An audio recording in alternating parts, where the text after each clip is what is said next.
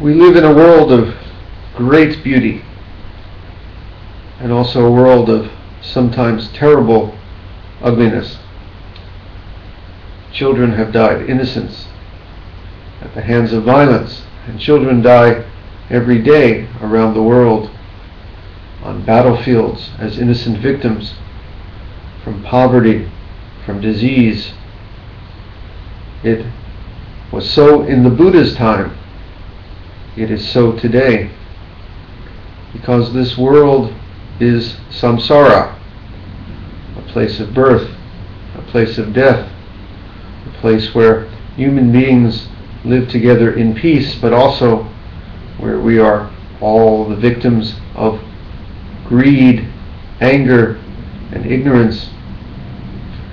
I think it is important to remember on a day such as today that the true evildoer is greed, anger, ignorance, separating me from you, mental illness. So in the Buddha's time, it is so now, where this is samsara. And while the Buddha knew the disease also well, and a way to see through and pierce even birth and death. His world then was also a world of war and violence and great cruelty, such as as samsara is.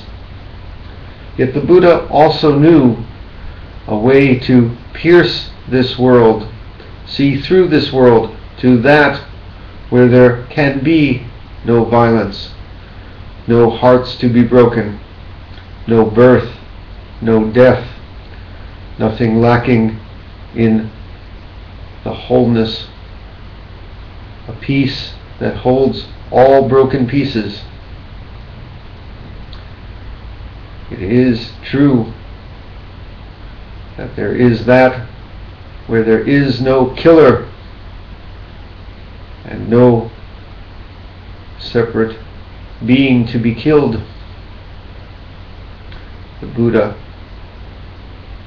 taught us to know this as well.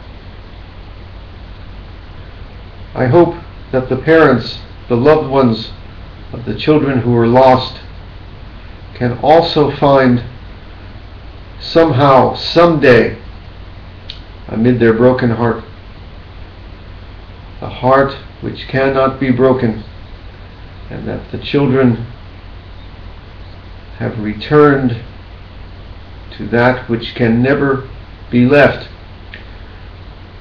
Some may call it nirvana, heaven, but it is beyond words. And we know this too. We pierce the beauty and ugliness of samsara, what is then? What is then? But it's not enough. For rising from our cushions today, please know that we have a duty to make this world better. There may be no war and no peace in nirvana, but in this world of samsara, though nirvana all along, we have a duty to be peacemakers and to make this world better. It's all true. It's all true at once. I hope that the parents somehow, someday, find the peace which is never broken, even as their hearts are shattered in a million pieces today. If you have children, I have children, give them a little extra hug. How precious to be with them today. But let us work very hard in this world so that few parents in the future will ever know a day like this. Shall we sit for the children all through the world who are suffering today?